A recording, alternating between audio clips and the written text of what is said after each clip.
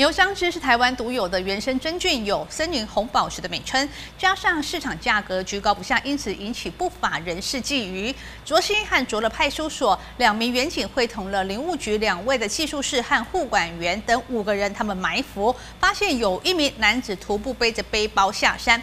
看到警察呢，也露出神色紧张。远警上前盘查，经过搜索之后，取出两包的牛樟汁，当场是人赃俱获。而这个男子呢，他没有办法抵赖了，就被带回警察局侦讯。牛樟芝是台湾独有的原生真菌，有森林红宝石美称，加上市场价格居高不下，因此也引起不法人士觊觎。卓西以及卓乐派出所当天就派出了两名远警，会同林务局两名技术士以及护管员等五人共同埋伏，发现一名男子徒步背着背包下山，见到警察出现神色紧张，远警上前盘查，经过同意搜索之后，查出了两包。的牛樟芝当场人赃俱获。经同意搜索后，取出两包牛樟芝，共二六七点二六公克。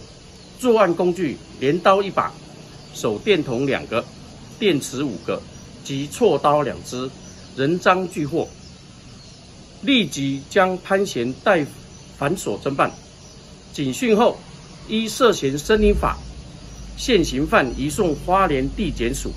绿分局也呼吁民众，森林属于全体国民的资产，森林护管员会在林间装设红外线照相机进行监测，针对盗伐热点进行巡视，请民众勿心存侥幸。这名潘姓男子讯后依照涉嫌森林法现行犯移送花莲地方检察署侦办。